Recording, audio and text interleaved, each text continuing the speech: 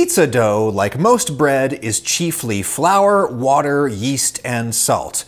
But lots of recipes, including my own, call for some amount of oil and some amount of sugar. What do those add-ons actually do? Well, according to my experiments, which I'm now going to show you, Sugar makes the dough sweeter, obviously, but more noticeably than that, sugar causes the dough to retain water during baking, which could be a good or a bad thing. Oil makes the dough more rich and moist, obviously. It also makes it bake a little faster, but oil weakens the dough, which is the negative way to say it. The positive way to say it would be oil tenderizes the dough.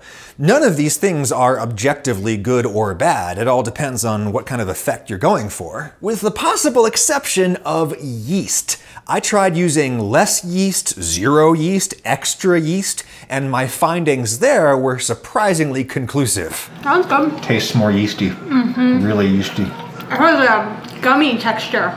It smells like an armpit. Oh, oh No, God. I'm not doing that. Oh, spit it out. Oh. Yeah, up to a point, more yeast is good. Those are my big picture findings, but I learned a lot of other little interesting things along the way. Let me show you my methodology. Eight different sample doughs in eight separate containers. Got to keep them each labeled through the whole process. Each is going to be built on half a cup of water, 118 mils. That's about what I normally use for a home oven sized pizza. Top lefty there is my reference recipe, my normal pizza dough, which has about half a teaspoon of granulated sugar per pizza. Some of these are going to get less sugar, no sugar, double sugar, than yeast. Normally I do about half a teaspoon of active dry yeast for a single pizza. Some of these are going to get less yeast, no yeast, double yeast, and I'm isolating the variables here. Each of these doughs is different from my reference dough in only one aspect. That's important, right? Now check this out. I'm going to slow the video back down to real time, and you're going to see the yeast in top righty there bloom conspicuously. That is happening in real time right there.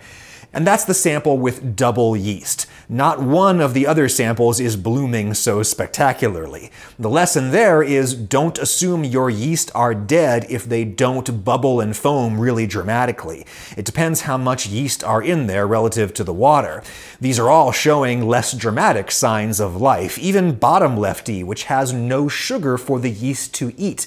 The yeast have their own internal energy stores, just like you and I do, and their metabolic processes resume as soon as we get them wet, with or without sugar. Normally, I would just eyeball the olive oil, but I'm guessing I do about a teaspoon per pizza, so some of these will get half that much oil, no oil, double oil, etc. Salt I'm keeping standard, half a teaspoon of Morton Kosher for each. Flour is going to be constant too, 150 grams of King Arthur bread flour per dough. That's about a cup because bread flour is heavier than all-purpose flour. Protein is heavy. This is going to give me a dough hydration of about 80%, which is pretty wet and what I have been favoring lately since I have moved to a no-knead or low-knead dough. I'm not even touching these with my hands. I'm just getting each one stirred up with a spoon until all the flour is wet. The most bread flour you can possibly stir in with a spoon, that's generally going to get you the perfect hydration for no-knead pizza dough. Already there are differences. The samples with more yeast are noticeably wetter, even though they have the same exact amount of water and flour. Today's video is really a practical experiment, not a science explainer. I will give you my best guess as to what is happening science-wise. Active dry yeast that is sold like this in the store is generally packaged with an emulsifier to help the yeast rehydrate inside your dough. My guess is that emulsifier may be helping the whole dough to suck more water into its constituent particles, and that gives it the effect of seeming at this stage more wet, even though it has the same amount of flour and water. But that's just a guess. These are all done, time to pack them up, and it occurs to me that the labels are upside down from your perspective. That's quality filmmaking, Ragusea. And then, like I normally do, I'm gonna put these straight into the fridge for a slow, cold rise, which I'm quite confident results in superior flavor, but we can A-B test that another day. Here's an A-B test that we can do right now with the sponsor of this video, Surfshark. Without Surfshark, I cannot stream the latest Great British Bake Off eps from Channel 4, because 4 is a British public broadcaster and I'm in the US. But if I connect via one of Surfshark's VPN servers in the UK, I can stream as many Victoria sponges as I please. Getting around national boundaries and internet censorship is one of the many benefits of a Surfshark membership. Funneling your traffic through an encrypted VPN server also keeps anybody on your Wi Fi network from snooping on you. And Surfshark comes with tons of other internet security tools like CleanWeb. Turn that on on any device and you will block lots of malicious ads, malware, phishing attempts, that kind of thing.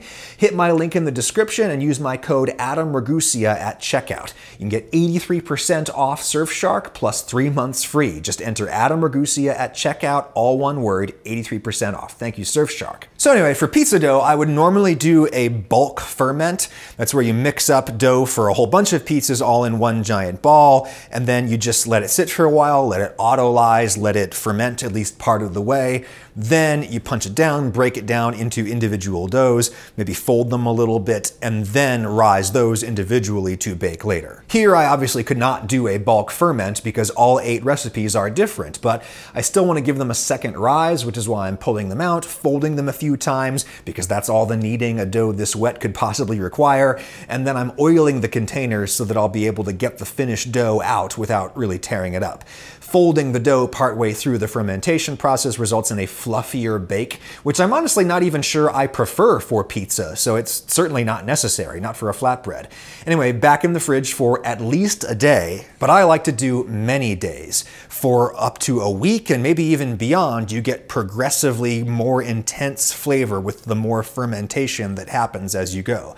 I have a whole video about that in the description where you can see a dough at one day old, two days old, three days old, etc. These are now five days old and I'm gonna bake them. It is pizza dough, but I'm not baking pizza with it. I'm baking what my kids call pizza bread. Gently pull the dough out without deflating it, turn it upside down so the bubbly side is on top. Smear that with olive oil, top with black pepper, coarse salt, and garlic powder. Bake at maximum heat on a hot stone or steel. This will be less wasteful than baking eight full pizzas. I can bake four at a time, so all four will get a similar bake, and that'll help us isolate the ingredient variables. Plus, with pizza bread, you can assess the dough itself a little bit more easily. Its more subtle characteristics will not be drowned out by the sauce and the cheese and all that. Gotta keep the label with the bread at all times, or this entire exercise will have been for nothing. Here's my reference dough, my standard recipe. Teaspoon of oil, half a teaspoon each of sugar and yeast. Tastes great, fluffy yet moist and chewy, nice fermented yeasty flavor, and a very subtle sweetness that I only notice after I've been chewing on it for a sec. In fact, let's first consider the effects of sugar on the dough. As you saw, all seven of my doughs that had yeast in them were able to rise just fine, with or without sugar. This is because flour generally has enzymes in it that will break the starch molecules down into fermentable sugars that the yeast can actually eat and ferment and all that kind of good stuff. So sugar is absolutely not necessary. Like here is my normal dough with half a teaspoon of sugar. Here is my dough with zero sugar. The zero sugar dough puffed up almost as tall in the fridge, though it feels Less sticky. Less sticky, Adam. that's me leaving notes for myself, which I'm sure sounds totally normal and not at all crazy. Once baked, the zero sugar dough looks a lot browner, but I think that mostly had to do with its position in the oven. It is generally agreed upon that sugar enhances browning in bread, but this experiment was not able to isolate that particular variable. Anyway, we can talk about the internal taste and texture difference, which is very noticeable, and it has very little to do with sweetness. I can vaguely taste at the end of the bite. I can taste the, the relative lack of sweetness. Nevertheless, pizza dough with no sugar in it tastes really different, or at least the texture is different. It is fluffier and it is chewier. Sugar weakens gluten and it retains water during baking. I think the lack of sugar here allowed more water to convert to steam, and the stronger gluten network was more able to capture that steam in the form of bubbles, hence fluffier texture. And the taste of the zero sugar dough is more bready. Sorry, that's the best thing that I can think of to describe it. It's more of the just kind of purer, cleaner taste of plain bread. I would not say that I prefer it to my standard dough that has a little sugar in it. To me, they're just two totally different things with their own pros and cons, though too much sugar is definitely a thing. This dough got double sugar, a full teaspoon, and you can see it puffed up a little more. We got a gassier fermentation out of it, and it is very sticky. That would be much more challenging to shape into a thin crust pizza and have any hope of sliding it off the peel into the oven. Once baked, you can see the difference in the interior texture, which is very moist and dense, almost like it was underbaked. Lauren was not a fan. It tastes like it's a savory bread that is wanting to be a cinnamon roll. Yeah, and that's not because it tasted sweet. It did not taste particularly sweet to me, but sugar holds on to water, so less water was able to escape as steam during baking. You also have less steam puffing up the texture, and you have a weaker gluten network that is less able to expand into bubbles in response to that vapor pressure. So the resulting bread is texturally cakey sugar is responsible for that cakey texture, at least in part. And that could actually be nice in, say, a thick crust pizza, but for a typical thin crust, nah, I don't think I'm ever going to use more than half a teaspoon of sugar per small pizza ever again. How about oil? Sample number two here has absolutely no oil inside it, just a thin coating on the outside. It seemed to rise just as high as my reference recipe, but the raw dough was noticeably stickier. Maybe that's just a lack of the lubricating effect of oil and despite baking in the hottest corner of my oven, it baked up lighter than the others in the same batch, except for that one burned patch there. Really, the zero oil dough needed another minute or two in the oven, and this makes sense. Oil speeds up cooking. This is because oil can get much hotter than water can, liquid water, and because oil is such an effective thermal interface. I have a whole video about that in the description. But if you look past that slight underbaked taste and texture, the interior of the no oil bread is quite nice. Again, I would just describe it as more bready than my typical pizza dough, more of the pure taste and texture of bread without the extra richness and moisture of the oil. They're very fluffy. Uh, yep, that makes sense. Fat weakens gluten. So without fat, this was able to form bigger bubbles in the oven. It got more oven spring from the steam. The resulting texture is pillowy, which again, I would not say is intrinsically better or worse than my normal dough. It's just a different vibe. Over here is my dough with double oil. Actually, I think I might have given it triple oil. The raw dough is not especially sticky to the touch, but it is softer. I can tell that if I tried to stretch this out thin, it would probably rip. Fat weakens gluten, so that makes sense. Bake that up, very crispy bottom on that. It looks pretty similar inside, but wow, does it taste different. Oh, you can tell. It just falls apart in your mouth. Yeah. Fat is the other thing that gets you cakey texture. Fat weakens gluten, so you get this very tender, very yielding bread. Your, your teeth kind of cut through that bread like a hot knife through butter, which again could be a very nice thing in a thick crust pizza. So I'm not going to call this objectively good or bad. But I'm going to get much less ambivalent when we start talking about yeast. This is my batch with half my normal amount of yeast. You can see that we got a feeble rise with just a quarter teaspoon of yeast, and the underside has less of the bubbly surface that holds oil and crisps up really nice when I do pizza bread, so boo to that. The low yeast dough bakes up a little bit flatter, and you can see the bottom layer is gummy and doughy. I think that's because our feeble fermentation did not create enough seed bubbles in there. There were no little pockets for steam to build up and expand. And the taste? Tastes like bathwater or something. I don't know. Yeah, it just doesn't taste as good. No. Here's the thing.